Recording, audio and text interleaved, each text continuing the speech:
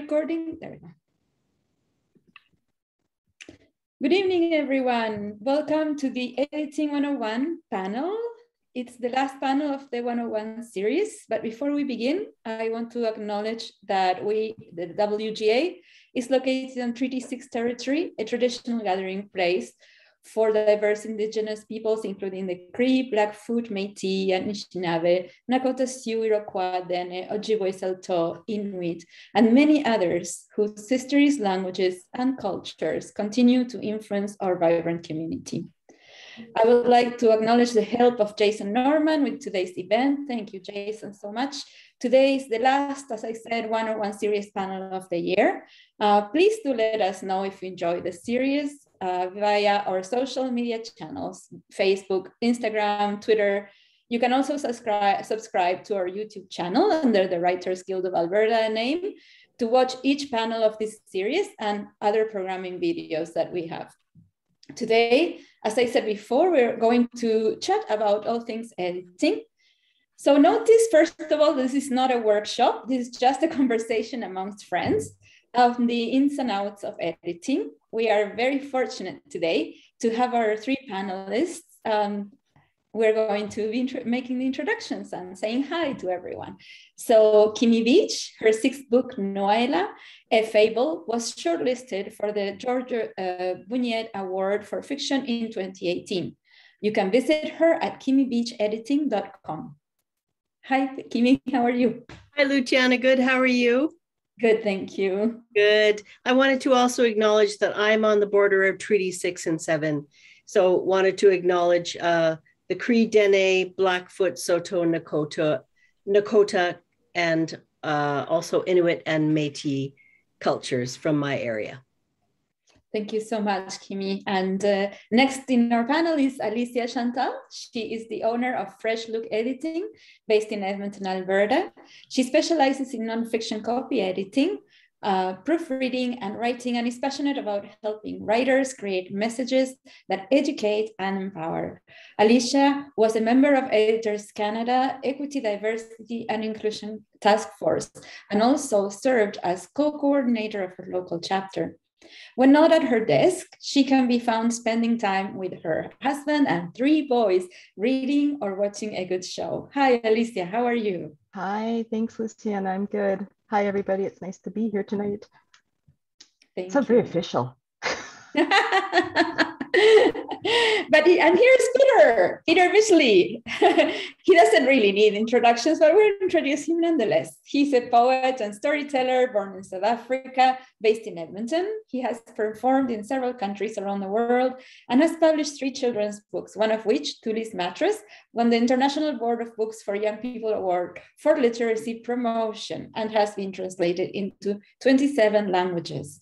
His latest poetry collection, Let Us Not Think of Them as Barbarians, was released in 2019 by NeWest Press.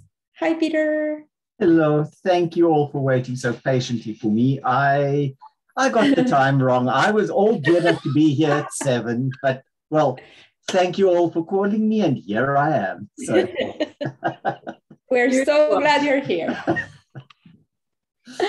yeah. Mm. so let's begin with the questions that uh, and conversation. Uh, of course we are friends and we've chatted about this before. So in a bit in we're just going to refresh our memories with all these um, you know tips on editing and whatnot. First of all i want to ask you what is editing to you and what area of the wide field of editing you focus on?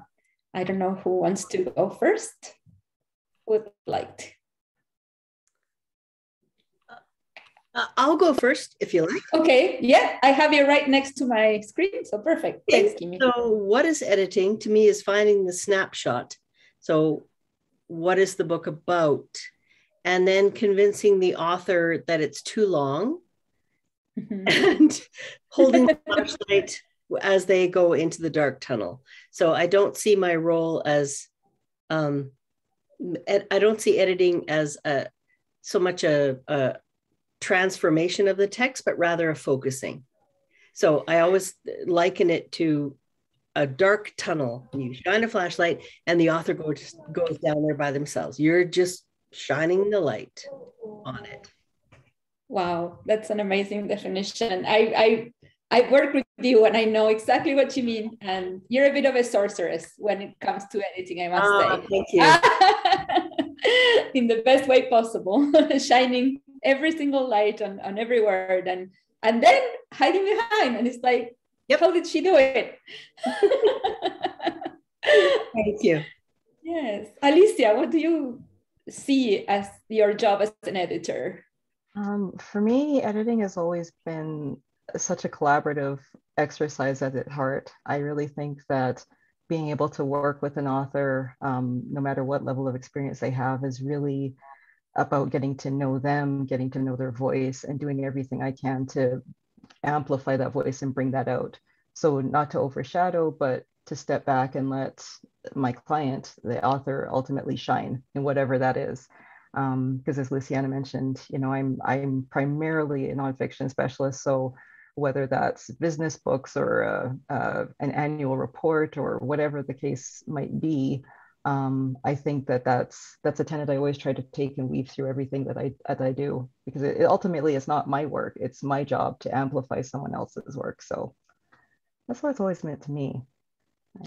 It takes a lot of generosity, I find, then to be an editor and put yourself in the in the back seat and let the text shine. It's a it's a major task. Peter, what can you say about all that and what is editing for you?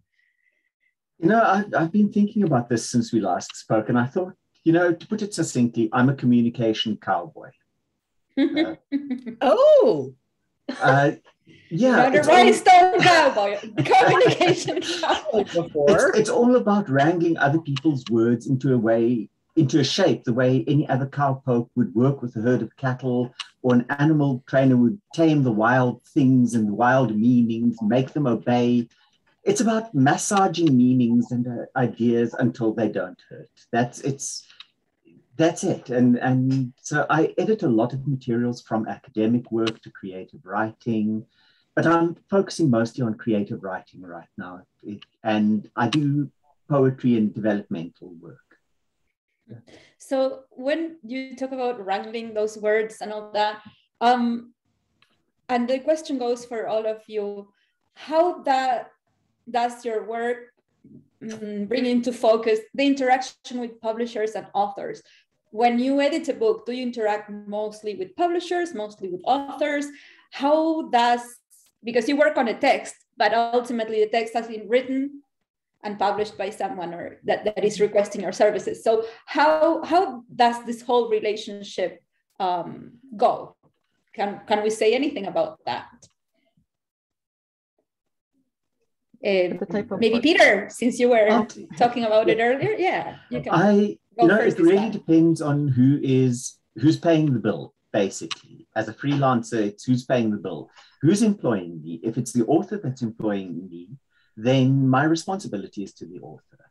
Um, if it's the publisher, then obviously I am I have to look at what the publisher wants me to do, but I'm also a go-between between the publisher and the author, and I have to I have to negotiate sometimes. It depends on what the author is asking or the publisher is asking. Is work that relationship, and if there are disagreements, then I have to negotiate. Alicia has said it. It's about communication and interpersonal relationships at that level. Mm-hmm. Alicia, you want to expand on that a little bit more, maybe? In particular, how do you work with the publishers and or authors? I, I agree with Peter. It really does depend. Well, there's definitely no one size fits all approach, I yeah. think, because you know when you're working with a publisher and in my experiences i've i've often worked a little bit more arm's length with the author um, whereas, of course, when we're dealing with, when I'm dealing with direct businesses or self-publishing authors, of course, then I'm dealing directly with the clients that have actually written the piece that I'm working on.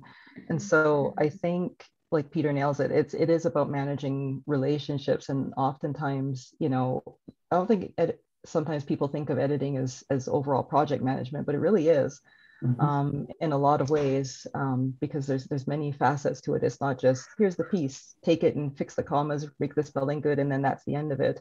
Um, there's a lot of moving pieces, and I think for our clients, we owe it to them too to know about their business, about the publishing world, how it works, so we're able to try and kind of weave in and out of those um, relationships as best we can.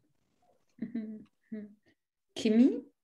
I've had um, projects where the managing editor at the press has said, don't do anything but move commas. don't, don't say anything substantive. You will get pushback. You do not fight with this author. She's right 100% of the time. You are wrong. Okay, so then I do a mechanical copy edit and I, I gloss over everything that I can see substantially that's wrong with it. But when I work one on one with with uh, private clients, that's a totally different relationship. You you you build the trust there, and you you have a personal relationship with them, which ends usually at the end of the of the time. But uh, I do what I'm told by the press. If I'm working for a press, just do a mechanical copy edit. Do not say anything about story or structure or anything. Just move the commas around. Mm-hmm. And I'm, I'm happy to do that. But I, I like working with authors better. I really do. I like the one on one. And that's mostly what I get.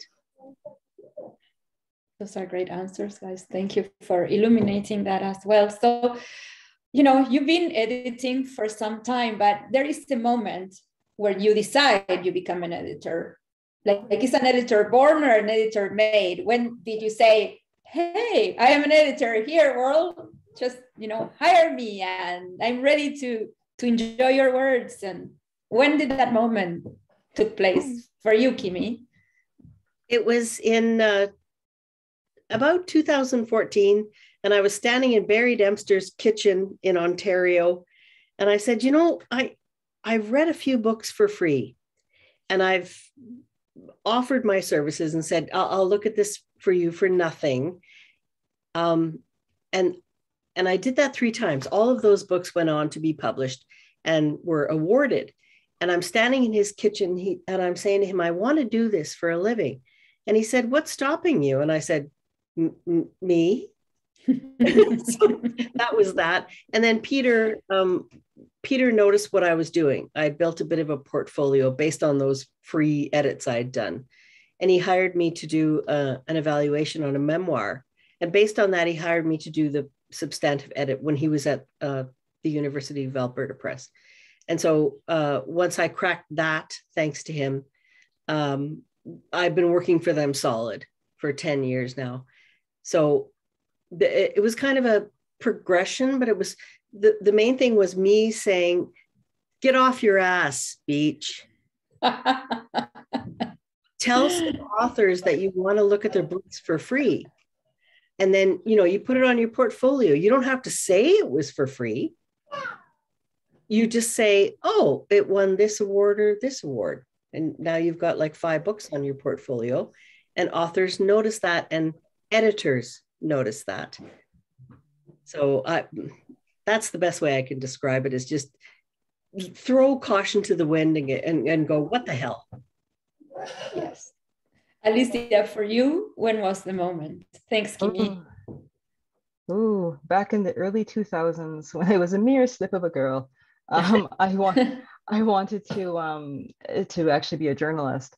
And when I started working mm-hmm. at my university's newspaper, um, I went to university in Lethbridge. I um, found myself interested in the copy editor position, and I had an absolutely, I, I'm telling you guys this, it was an absolutely god awful interview. It was a panel interview with all of the current staff of the newspaper interviewing the candidate that wanted the individual. it's fantastic. Um, and nobody wanted to be copy editor because everybody else wanted the sexier jobs. They wanted the stuff in front of the camera, so to speak. They wanted the production manager, the ad manager, all that kind of stuff and they had actually asked me like well how do you know you've done a good job when you're editing and um, i remember very clearly saying i know i've done a good job when nobody knows what it is that i do because yeah. to me i i found i like that behind the scenes work i didn't want to be the person in front i wanted to be a reporter um, because honestly, I mean, I'm sure all of us here being in communications in various forms, like you read a newspaper, if it's well edited, well written, nobody asks who wrote that? Who the heck is the copy editor that did this piece? But if it's not well done, right, right, everybody now is looking for the bylines. Oh look, Thatcher! Oh, oh my goodness. Sorry, folks. Hello, say hi. I hope I don't look Never at all be. these people waving at you. Aw. Hello. Aw. never be sorry for a guest. No, Oh, never. boy. Hi, Thatcher. Our Okay. fourth panelist, I forgot to mention him. I'm so sorry. What can you tell us about having a granddad for an editor? or an editor for a granddad? no, I'm not taking them off. But I tell you what, why don't you go back to why don't you go back? Aw. Bye, Thatcher. Bye. Bye bye. Love you. this this is this is my daily interruption. Sorry, folks. Wonderful. I just hijacked the show there. Oh, Thatcher You're welcome. That's wonderful. fine. Uh, So Alicia, this is great to to hear about your um, you know, your your realizing that you were an editor as you worked in the newspaper and everybody else wanted the glamour, you know, uh, jobs and you decided to go and do the the least uh, sexy one. And in the end and in the end just you know realizing that that was your your, your line of work and, and your vocation that's great to to hear about um, you see, as editors, though, we get the most marvelous assistants. Right, Hmm. Peter? The most marvelous assistants. So that's pretty So, awesome. Yeah. Uh, what about you, Peter? What made you realize you were an editor? Um, you know, I I basically just walked into a publisher without actually really knowing what an editor is or does, to be honest. Um, walked into a publisher's office and said to, to her, I'm an editor, have you got work for me?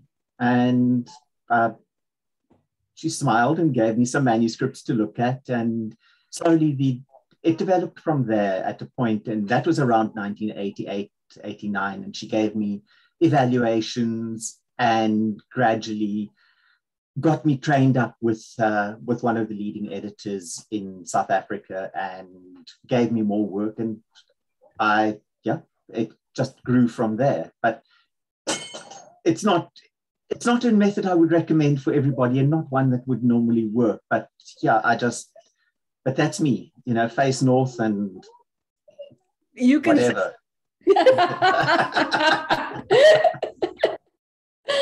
yeah. Yeah, Facing so- north. Yeah. Yeah. So um in in in your case, well, you've been mentored and you know throughout your your career, I'm sure. Would you like to speak of, of your mentors? And then after that, how do you mentor other editors? So it's like a double, you know, sided question here. Who were your mentors? You are here now.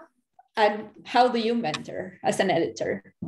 My my mentors were first of all Teresa Papenfuss at the publisher where I was working, and she she was the one who literally gave me the manuscripts as a complete newbie. Said to me, read. Obviously saw that I had an eye for something, um, and slowly said, "All right, so do this," and then gave me advice to say, "So why did you pick this one? Why did you do that? Start thinking about why you are making certain choices, and then."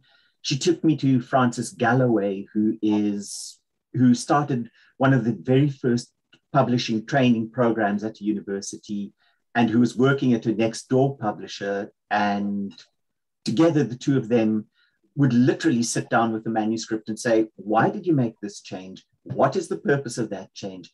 If you make that change, look how it affects that," and walked me step by step through through what I was doing. So it was very, very hands on. And I, I still think that editing is a lot of that.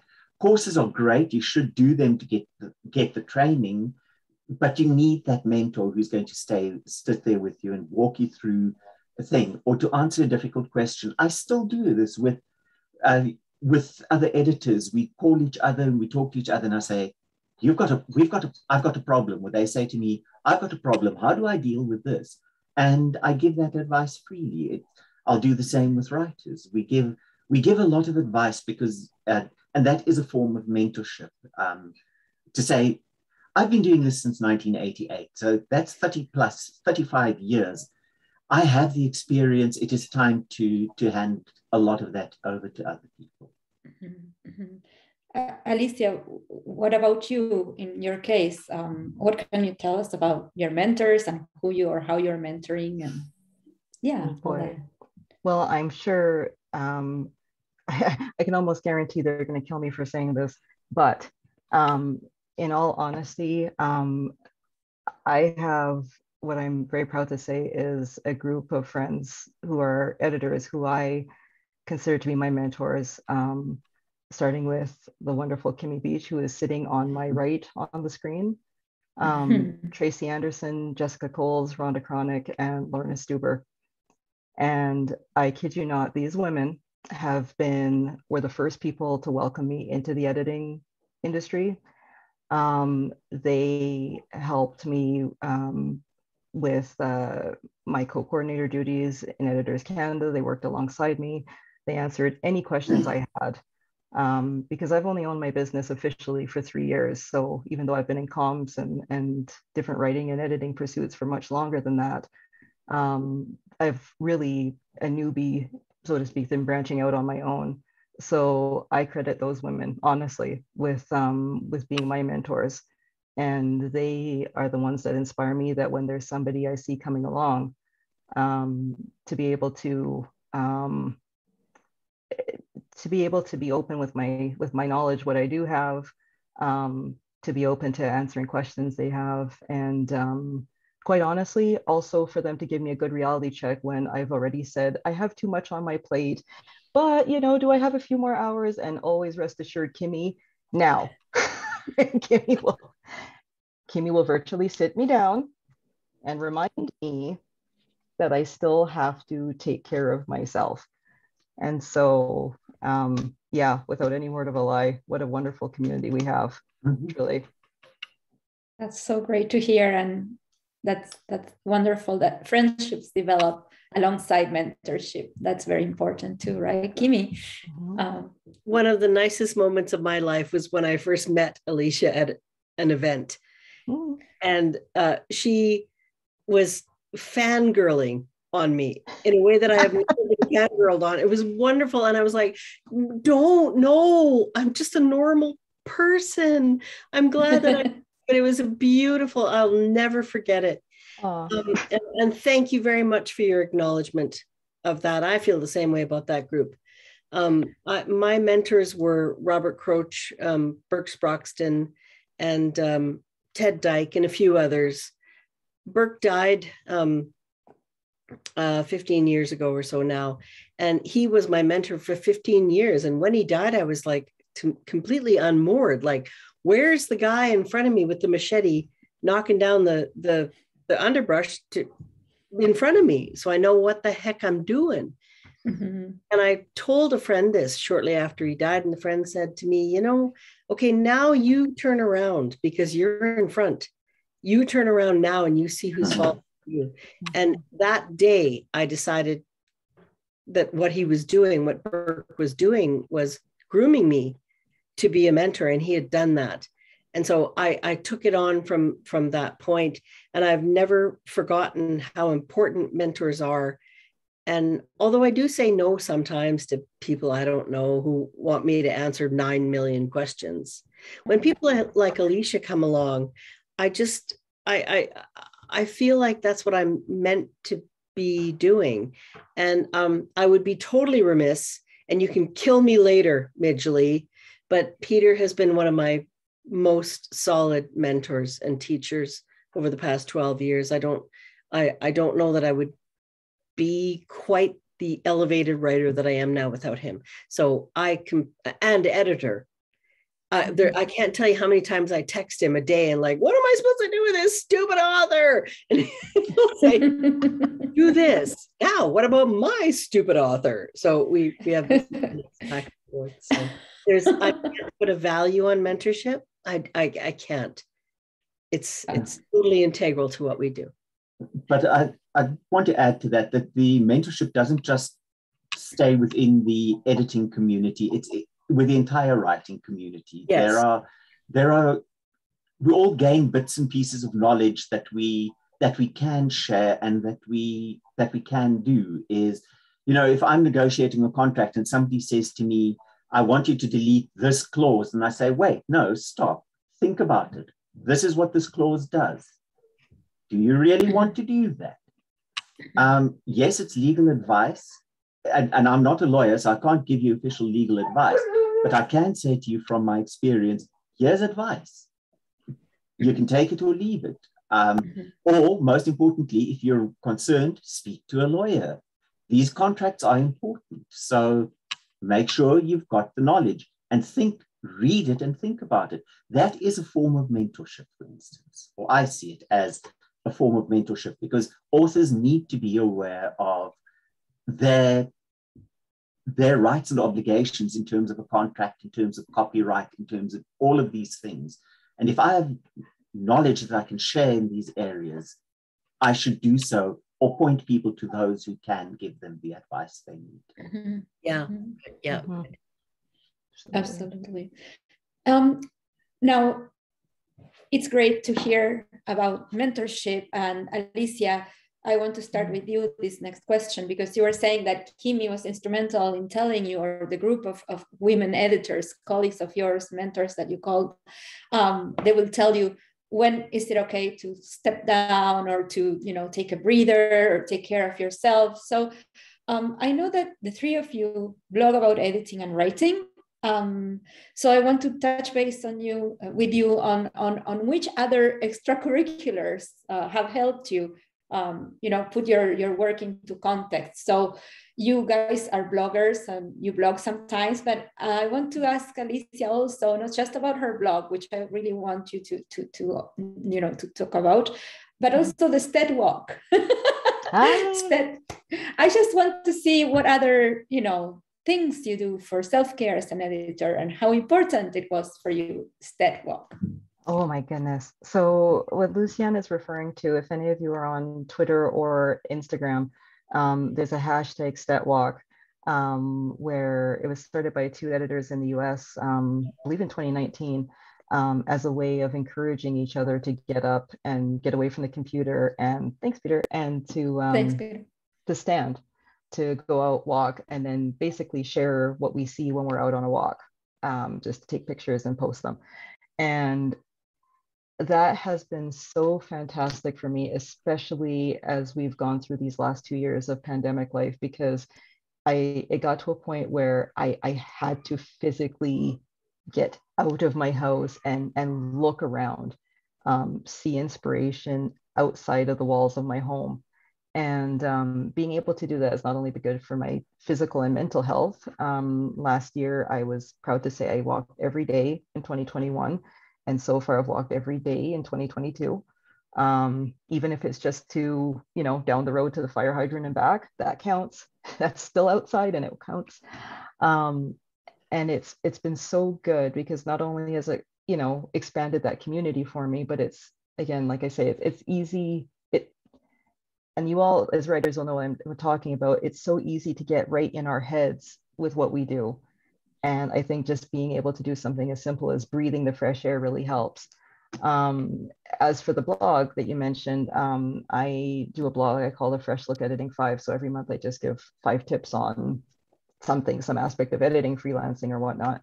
And um, for me, I find that that has kept me very humble mm-hmm. as an mm-hmm. editor too and knowing that a i can't do everything all the time because there have been some months that my blog have been mm, more consistent mm-hmm. than others mm-hmm. we'd say mm-hmm. yeah um, and um, but it's also kept me very humble because again to think that people that do this for a living um, is putting a piece of yourself out there no matter what it is that you're writing and i think that that is that is really huge no matter what it is that you're writing on a public forum um, and it reminds me that when i'm taking a work to edit um, that i'm essentially in some ways taking someone's baby into my hands so not to smoosh the baby but to mm-hmm. try to nurture it and help mm-hmm. it thrive yes uh, Peter, you want to say something about your blogging or what extracurriculars you do for your, uh, besides your editing and your literary work? what other things uh, the reason why i'm asking is because when we first discussed this early, the three of us, the four of us, um, we were saying we're more than talking heads. And off came the song Burning Down the House, the whole thing. So anyway, Peter, uh, without pointing fingers at you, maybe building up the house. Do you want to say something? I don't know. uh, I, I, I, think she's hinting at the fact that I have a constant renovation project since the, my, my roof caved in from snow damage. Uh, and I had snow damage throughout the house. We have been in a constant rebuild, but uh, but you know, editing is rebuilding anyway, so I don't see it as particularly different. I I'm a person of limited interests. I read books, I write books, I edit books. Um, most of what I do involves books in some form or another, and of course, yes, I like to get out and and do walks, go for do exercise and that, but when I write, I, I enjoy talking about editing. I enjoy reading about various aspects of editing, of writing, and I try to think very deeply about the crafts I do and find ways to, to demystify this for, for people who aren't in editing. We don't just wave a wand and the words shape and fall into place automatically. There are, we work hard at what we do. And it helps to be to help people understand. Um, I I've compared it to to designing a motor racing car, for instance. So I try and look at various ways to to explain what we do as editors um, in accessible ways and in ways that audiences that don't generally work with books can understand. Um, you know, the motor racing one came because I was speaking to to my um, to a mechanic at a, at a garage. And he said, "What do editors do?" And the minute I could speak to him about Formula One racing, he went, "Oh yeah, I get it. Gee, that's actually important." well, right. So, so it's it's I like to think about that and to find different ways to to be on panels like this. This is that's what I enjoy doing beyond beyond physical editing is is actually talking about my work and the significance of it. I also edit places like the Read Alberta website where yes, where I can congrats talk. on that. Thank you. No, but it's important work. It's it's about course, promoting not just authors but our local publishers. We if we don't start locally, where do we start? Uh, yeah, it begins here. So just to try and be involved as much as possible behind the scenes. Mm-hmm, mm-hmm. And Kimmy, you also blog. So if you want to talk about your blogging, or uh, and and also like Alicia, if you have any other activities that keep you sane, you know, amongst yeah. your work, yeah. Yeah, um, and thank you for not mentioning that I've not blogged for months. I haven't either. I have a blog. Don't worry, we are all doing that. I blame pandemic brain for that, but yeah my blog is aimed at um, beginning writers. So I'm very gentle and I'm and I give like a tip. But one of the things that I do is I I try to read as widely as I can, um, so that when I'm working with a, new author, I can say, "Oh, well, you might want to read this book because it's doing something similar to what you're doing." And you, uh, for a couple of reasons, you want to make sure you're not reading that book if you've already read it, which is a bit of a danger when you're starting out. And also that it's different enough from things that, that are already out there. That if you read enough in the area that you're writing in, you can make sure that you're not repeating it. So uh, my blog is, is a lot about that. But the main things that I do to keep um, that non-writing or non uh, editing stuff is for two decades, I've been getting through getting my nieces and nephews and now my great nieces and nephews on both sides of my family to figure out what Hamlet is mumbling about. So when they get to grade 12, they're like, oh, Mom, I don't know what to be or to not to be means. They're like, just phone your Auntie Kimmy. just phone. So that's you're the Hamlet hotline.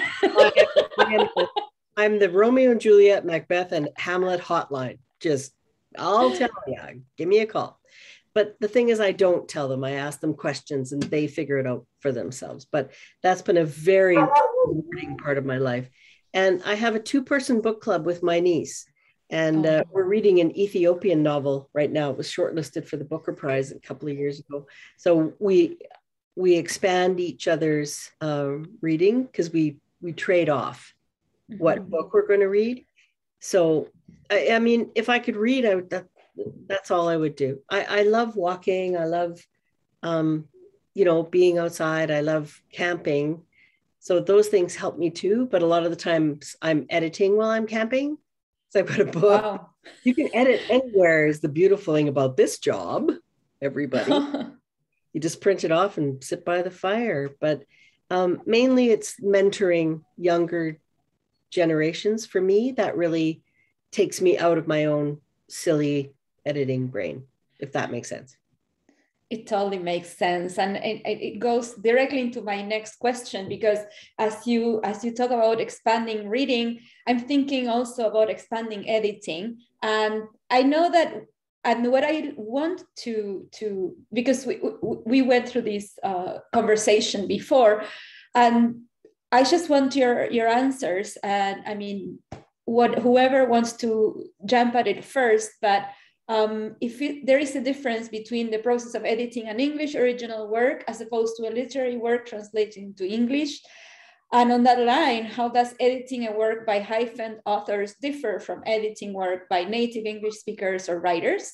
Or if there is such a difference? And you know that the reason why I'm asking is because of you know the type of work that i that i do in my other job right so i felt that it was necessary to to perhaps you know, just have a tiny conversation about that as well. Anyway, take it away, guys. I would be the first to admit that I don't do translation work. Um, I am absolutely in awe of those who do um, because I think it's it's it's so important. Um, so I mean, I I can't say I can't add anything to your to the conversation here from the working standpoint, but just that I think it is it is amazing and very important too, so that the folks that do it well aren't losing the essence of what was originally intended. Um, because I think we know there's a lot of things that can be twisted if they're mm-hmm. not if they're not um, translated correctly. Mm-hmm. Okay. Peter. Peter is the guy to talk to about this. Maybe, I, I, yeah. And, and also, I want to preface this by saying that I love it when people, you know, you don't have to know about it. And this is what I talk about when I talk about expanding editing as well. Uh, you know, an editor is not someone who knows it all. And so it's good as friends to to ask questions. And, you know, if we don't have the answers, we don't have the answers. It's perfectly acceptable. Yes, Peter. Um, well, I've one of the things I've written about uh, extensively is living among languages um, and and also editing. I edit in Afrikaans and I edit in English, so I I work in two languages, and I'm I'm going to say that I don't know that there's anything. Um, there's nothing different in the process. Uh, it's an extra layer, but there's no reason why I should treat anybody whose work was originally in a different language any mm-hmm. differently or with any less respect or anything else than I would any other author. I do what I do with every book is I take the work and the author seriously. And that's the starting point is so on a basic level there's no difference whether you're there are hyphenations or not take the work seriously um, it adds a different layer of discussion. You have to become aware of contexts. You have to become aware of voice matters. Uh, cultural reference points become very, very important. You have to become aware of those you aren't aware of. You have to remain aware of the ones you you know. You have to work just a little bit harder to be aware all the time. And if you're grown up in a culture Many of these cultural reference points are innate. When you are working with translation, even though you have fluency, mm-hmm. you don't always have cultural fluency. So, so you've just got to switch on a little bit extra and be aware of, of any of those reference points that, that may trigger it and ask questions.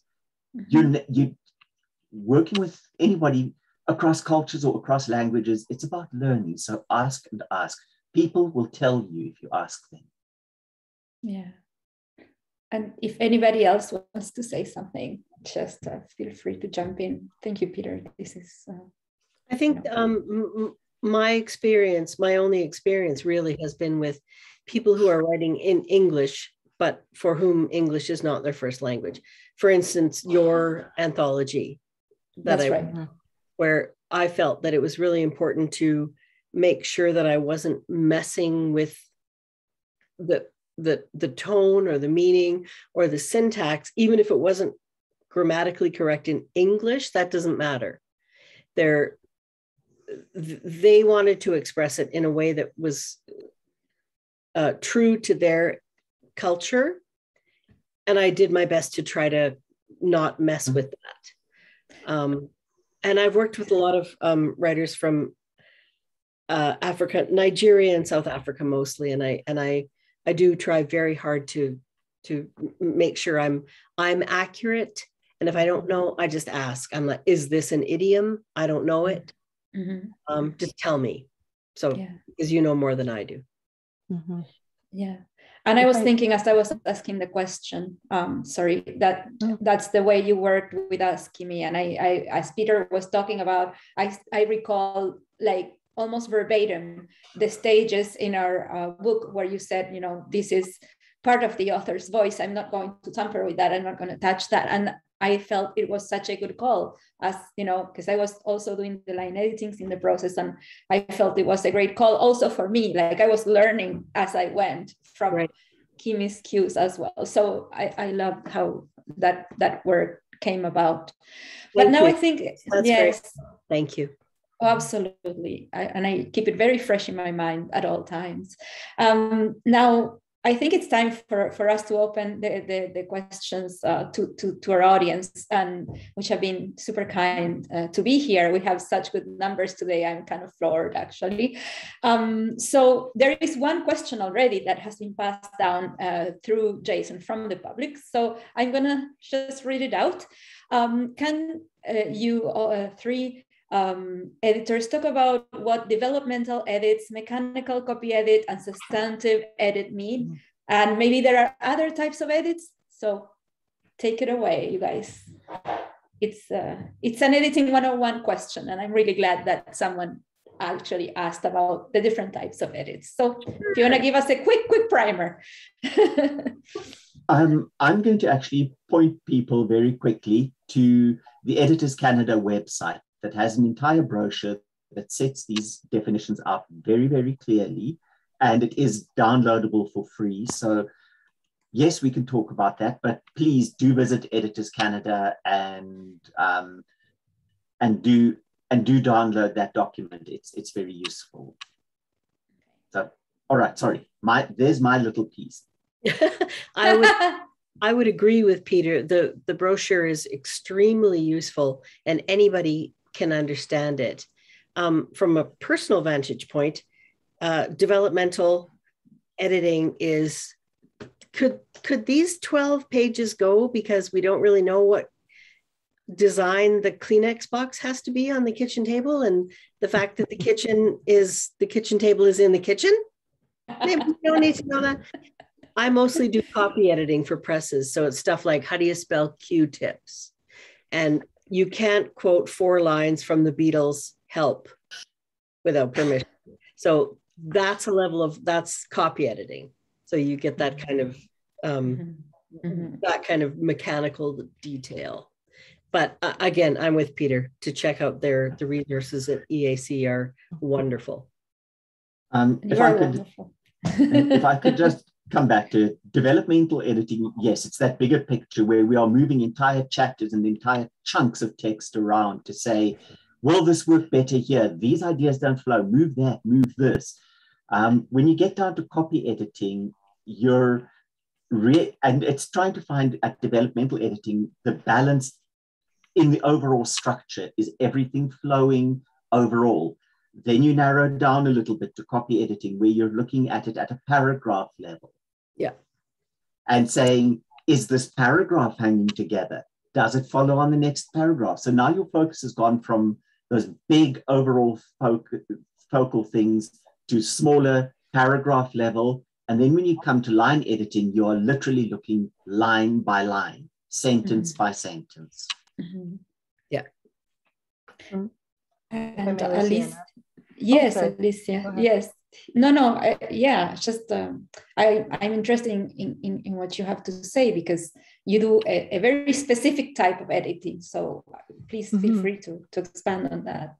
So I do copy editing and proofreading. Developmental editing is is really I'm trained in it, but it's not my not my forte. Um, so I'm I I always think very visually about it. For me, it's it's like an inverted pyramid um, like Peter and Kimmy have, have um, already alluded to, when you're doing developmental editing, you're really looking at big picture things. And as you drill down into line editing or copy editing, then you're looking at the more, as, as Peter was saying, like paragraph by paragraph, line by line, um, you know, word by word. Um, and then when you get into proofreading, which is another area of, of editing that I do, um, I always think of that as the quality assurance level. So mm-hmm. once all the rest of that is done, like once your editing is finished, everything's in place, it's ready to print. The proofreaders are the ones that are going to come in and make sure that pages one through 10 are actually numbered one through 10 as opposed to 1 6 9 10 12 um, you're going to make sure you know make sure that um, the copy editor's um, uh, style guide is followed so that if you've spelled Luciana one way on page two, you're not spelling Luciana some other way on page three if that was something that got missed. Because the thing is, is that when you're moving from, uh, from I guess, you know, a Word or an Adobe document or whatever it might happen to be in when you're editing, sometimes through no fault of poor editing or anything or poor graphic design, things just shift things mm-hmm. move. So it's the last kind of line of defense before something get sent to the printers to hopefully avoid any of those embarrassing typos yes. that we see. Um, I've, I've books, I'm sure we've all had books where sometimes you look and there's a chapter repeated somewhere in the book, you know, and hopefully, hopefully the proofreader caught that before, or you need a new printer. It's one well, of the. Italo Calvino wrote an entire novel about that.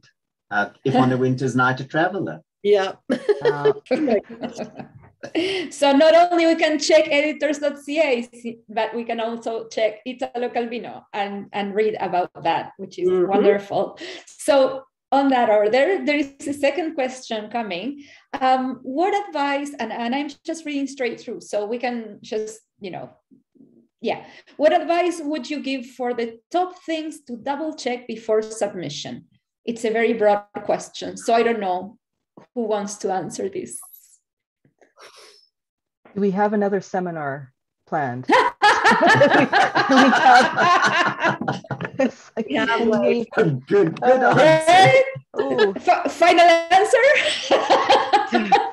um, That's like another three hours because. Oh, oh dear, dear. right? Um, I, I think I can confidently say print the thing out, read it out loud to your dog, your plant, whatever, go through it many many times looking for just one thing. This is what this is my um, best advice is just look for adverbs that you don't need. And then read it again and just look for extra spaces after after um, full stops. Read it again. Just look for uh, uh, just pick a thing and look for that one thing it's going to take a long time. It's going to take 20 or 30 hours to do this, but it's going to make such a different impression on whoever you're sending it to next. Mm-hmm. If they can see that you've actually done this work and done it methodically, not you're not reading it going, I'm going to catch every single thing I need to fix. It doesn't work that way. You you read it and you look for one thing at a time. This is how I teach it. Mm-hmm. So you guys differ on that, but no, I I would agree with that, and I would also just say, bear in mind you are the writer, not the designer of the book. You don't have to make the book look pretty and try and do 10 million kinds of styles. The first thing an in house editor or any copy editor is going to do is strip all of that out again and start from scratch and tag it the way the publisher wants you to tag right. it. So, yes, you want to use it, but be be as minimalist as you can be in in all of this. It's not your job to make the book look pretty. That's the design book designer's job. So mm-hmm. keep it simple. Spend your energy looking at more important things, like mm-hmm. making sure your writing is actually good. Yeah, there's that. Yes. Just sorry. Um, that. I I agree with what Kimmy and Peter have said, but I would also add one of the things that um, just even as a just as a citizen that means a lot to me is double checking names mm-hmm. um, whether it's a oh, personal yes. was a personal name a place name a building name whatever the case might be but especially when it comes to personal names because i think that um, the best advice i can give on that is don't guess do your best to find out um, because mm-hmm. the thing is is that names are so powerful and are so personal yeah. and when people are careless especially if it might be from a, a language that is outside of their their own native tongue i think it goes a long way to show a great deal of respect when you make the effort to get it right um, again and none of this means i mean obviously as as writers we're not asking for perfection because quite honestly too we'd all be out of jobs. If there was perfection on the first go. But i mm-hmm. think that that's something that to me is is very very important um, to me personally. And I, I like to see when people have made the effort to do that because we can tell. We can tell as well when that's when that's happened or not. Yeah. Mm-hmm. mm-hmm. yes thank you this is I think these are very great answers and very good tips that we can all take to heart. Uh, despite editors.ca, please check that site out and read Italo Calvino, please, if you're a writer and if you're an editor. Um, and speaking of writers, I have one last question that I'm going to, to share uh, before we have to say our goodbyes. Um, and that is from Aisha Cloud, who said, How do you handle a sensitive or defensive author? Have, um, has that happened? Yes. Can I, can I jump in there? Yeah. I think that it has to uh, do with your your attributes as an editor and, and you have to be very clear on what those are and you have to be authentic about them and, and be willing to say them. And for me, I always start with you're going to get kindness, gentleness, understanding, respect, fun, probably a lot of swearing. Pour yourself a glass of wine before we have the video call.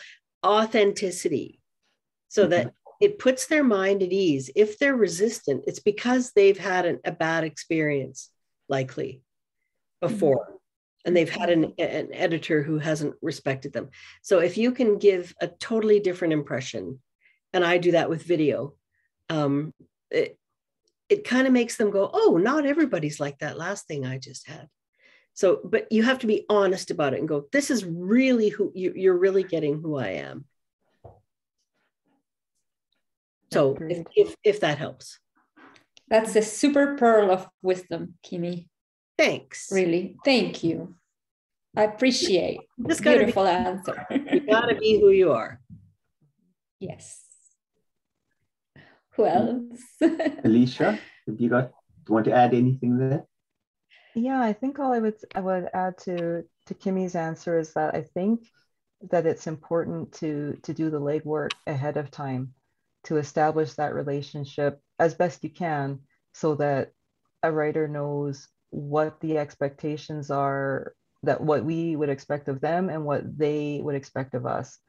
So one of the things um, that i've committed to asking my clients about was even something like are there is there anything you'd like to share with me that um, that i should know as we go through the edit?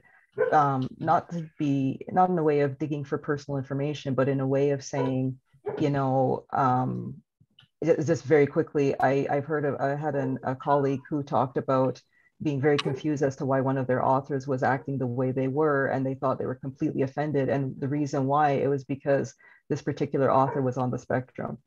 And the way this editor had gone about giving feedback was not a way that the author was able to easily receive it.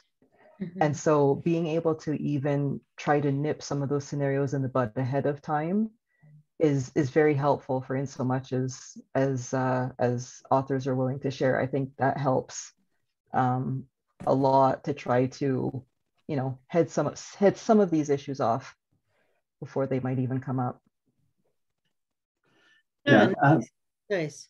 Yeah, I, th- I think they that Alicia and Kimmy have covered it uh, pretty much. But you know, it's about it comes back to it's editing is about personal relationships. You have to figure out where you where the author is comfortable and how far you can go and how to handle it. Every relationship is different. But I'm also going to say to you that yes, there's ki- kindness, but as authors, you have to be open minded and embrace the process. Um, I am I'm your editor, not your head cheerleader. And I, I think that's so through all of that kindness, I also have to be very firm with you and say, this is not working. Of course, I have to respect your decision at the end, but I have to be, it's that honesty that Kimmy was talking about is that, yeah, I've got to tell you, if I see problems, then then we've got to got to do it. Uh, we've got to address them. We've got to talk about them. If you're mm-hmm. dealing with material that is uh, culturally sensitive and you're going about it in a way that could cause offense, you have to say, listen, you are, here you are. Um, this is a problem. What the author does with it, it's up to them, but you have to point it out. So, yes, I can do that kindly, but I still have to be very firm about doing that and doing it. I'm not your cheerleader.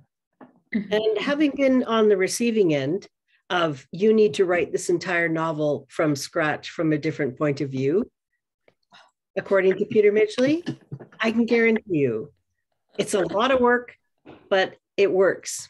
He says, This isn't working. It, the, the whole novel is wrong. Start again. And then mm-hmm. you, you, you um, mentally push him off the cliff and then you pull him back before he drops because you need him. I see a lot of um, I, I see a lot of trust and trust building that needs to happen then trust, in yeah, general yeah. right? So, so editing as trust. So how to deal with defensive authors it is about building that relationship it is about building the trust and and then listening to where where it is. And if you see the signs of discomfort step back and try to find out why it is. These have been great conversations and reflections on all these topics from the most practical to the naming of the types of edits to the more abstract things such as the state walk and our well-being mm-hmm. that are so important too um, and i really want to thank you the three of you for for having being with us in our last 101 panel. Um, before we close, I would like to redirect also your attention to our upcoming conference when worlds collide.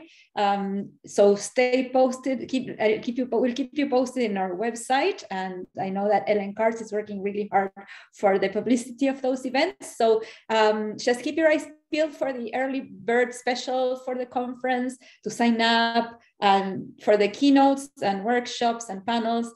And uh, may we continue conversations like this one on editing and friendships and trust and, and all those good things that literature brings to us in this province, also thanks to the WGA and the Edmonton Arts Council. So, from me, thank you to all of you. Thank you. Anna, thank you so much. And thank you, Alicia and Peter. This has been such a good time. Oh, my goodness. It's always a delight to be in your company. Oh, gosh. I feel that this has been a fever dream. I can't believe that my name is alongside Peter Midgley and Kimmy Beach. So honestly, I'm I'm good. This is great.